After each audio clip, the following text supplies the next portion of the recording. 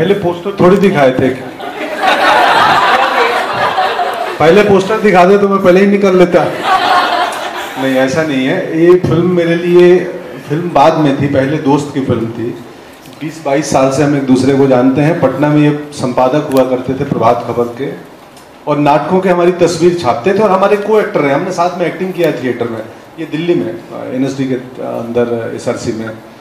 तो एक दोस्त फ़िल्म बनाने जा रहे हैं और मैंने बोला, मैं कोई छोटा सा हिस्सा कर लूँगा, क्योंकि मेरे पास समय नहीं था उस समय.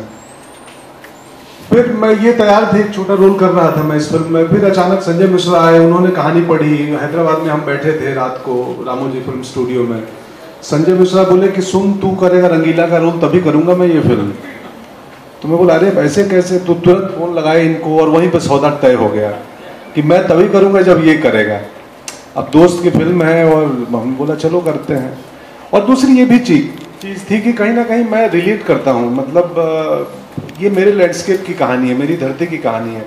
मैं बहुत अनारकलियों पे मरता था, बहुत सारी अनारकलियाँ थी। तो इसमें भी मरा हूँ मैं। हालाँकि मर ही गया हूँ।